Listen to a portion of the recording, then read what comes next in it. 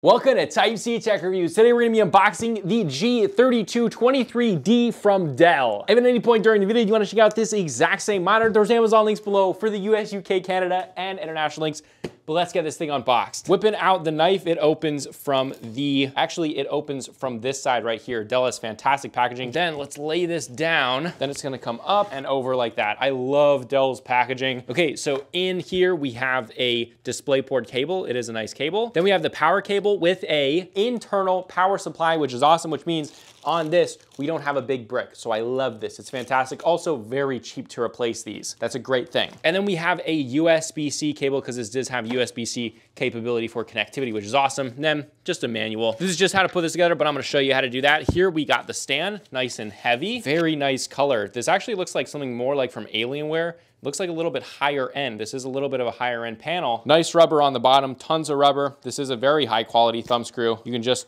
twist that in with your fingers right there. But I mean, this is like a gray, metallic gray. It looks very pretty. NVIDIA G-Sync, absolutely fantastic. Then lifting out the top, there is the monitor. Now we have the stand over here on this side. Let's get this undone. Then we have the stand right here. On the back, it matches that same silver. And then on this side, it's just kind of like a matte satiny black. Let's put this together. All we're gonna do is line these up, put it right in there just like that. And then just screw it in with your fingers. It's a high quality thumb screw because it can be screwed in without a Phillips head screwdriver. And there we go. It's all tight, fantastic. We have a bunch of different stuff with this stand, but we're gonna do that once we have this. So let's get to this. And again, Dell making it really easy to get into this. They already have this pulled away because they know you're gonna attach it this way. So all you gotta do, boom, put the stand in. I'll show you. Grab your stand, come down to the monitor, push this up, click in the top, little clicks right there, and then push it down, and it's clicked in. Boom, take your monitor up, put it on your desk.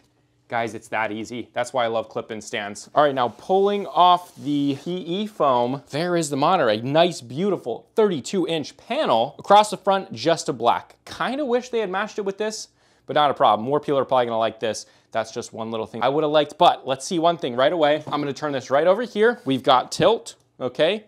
We've got swivel, and quite a bit of it too. Absolutely awesome.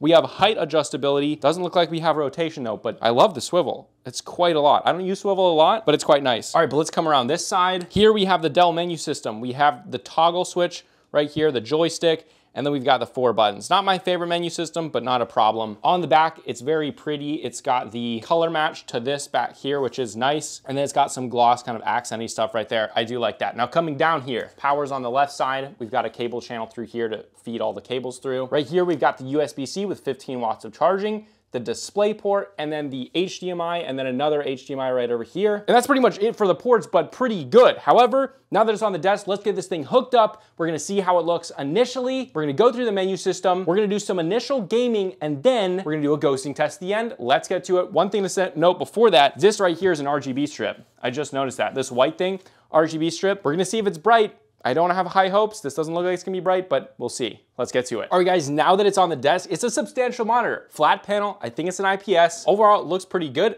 Let's turn it on. It does have a dedicated power button right there. As you can see, it should glow up, looking nice right there. All right, it's turning on. FreeSync Premium Pro, and obviously it's G-Sync compatible or NVIDIA tested. All right, so once it's right on the screen, we have English right here. We're gonna press yes with that by just pressing it on the toggle switch. All right, so right away, it's been a while since I've done a 16 by 9 panel, or it feels like it. I've been doing a ton of ultra wides. However, 32 inches, it's beautiful. Okay, so guys, right away with it on, let's go into NVIDIA control panel, make sure it's all outputting the correct. So it's at 60 hertz right now. We're gonna change this all the way up to 165 hertz, 2560, 1440p. This is a good, not perfect resolution. I would say 4K would be perfect at 32 inches, but 1440p is still way better than like you know, 81 PPI or something that you would get with a 1080p 27 inch. All right, now let's check if it can output 10 bits of color, and it can at full 165 hertz.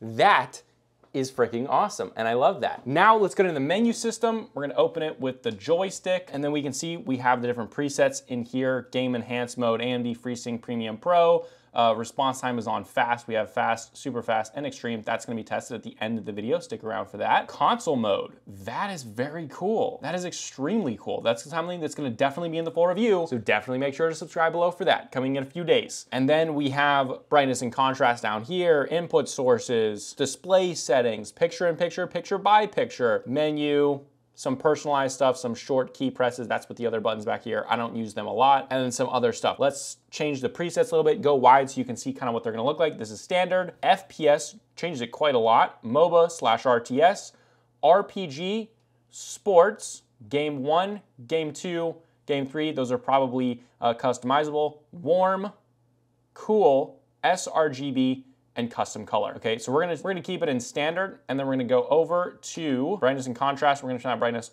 all the way up to 100%. And before it was looking a little bit low, this is looking pretty good. Dell's been killing it with brightness recently. Got the luxometer right here. We're gonna go ahead and test this right away. 487 nits. It looked bright when I turned it up. Man, this is hitting over 500 nits right there. You saw 500 nits. Look at that, 500 nits. That's a big deal, guys. That is a serious thing. At 75% brightness, it looked like lower than 300 nits, but in full brightness, 500 nits is considerable. That's not even with HDR on. I don't know if this has HDR support, but that's enough talk. Let's get in game and see how this thing games. All right, guys, right in game. Uh, obviously, if I didn't say this before, it's an IPS panel. This thing is freaking gorgeous, okay? I just came from an IPS panel. If you guys saw that review, a little bit low brightness. This thing, high brightness now, 500 nits. It's stunning, okay? Obviously, IPS, so viewing angles are perfect. All right, but let's actually go in game. Let's actually play here. Um, seems pretty dang fast as terms of in terms of input lag, but again, come back for the full review with that. Oh, but this thing is a gorgeous panel. Now the PPI, um, I just came from a 1080p 34 inch ultra wide, so basically a 1080p 27 inch panel. So this is a 1440p 32. So it's gonna be lower than a 1440p 27 inch,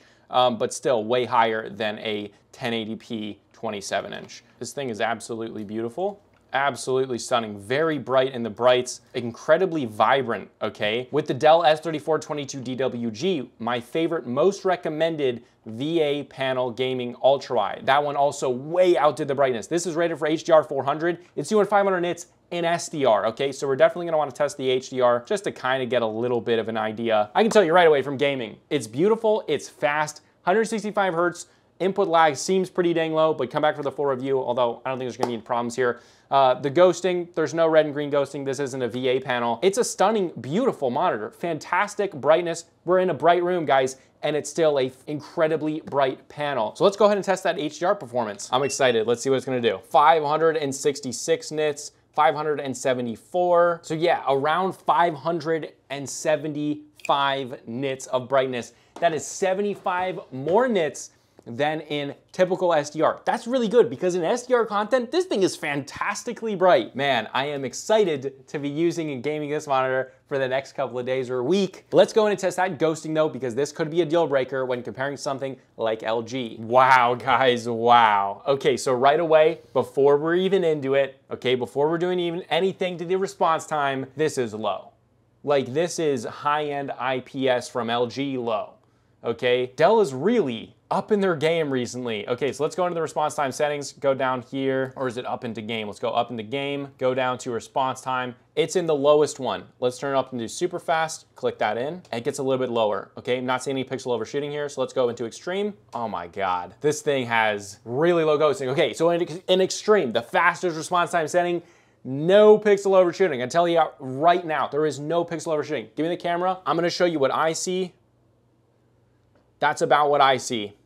That is incredibly impressive. That's like the best ghosting you can basically get on an IPS panel. This thing, this thing is amazing. I don't even know the price. I'm gonna go in and check it. Okay, this thing is retailing on Amazon right now. Again, links below if you wanna check it out. For 540 bucks. That is a really, really good price. The other thing that I've noticed what Dell has been doing recently is making the monitors more optimized for consoles. So there will be a whole console section in the full review. But right off the bat, this monitor looks absolutely incredible. Like for 540 bucks, it's like super high end. Wow. I am really excited to review this, but again, if you want to check it out, Amazon links below, and subscribe below for the full review coming in a few days. But this was Type C Tech Reviews, and I'll see you guys in the next video.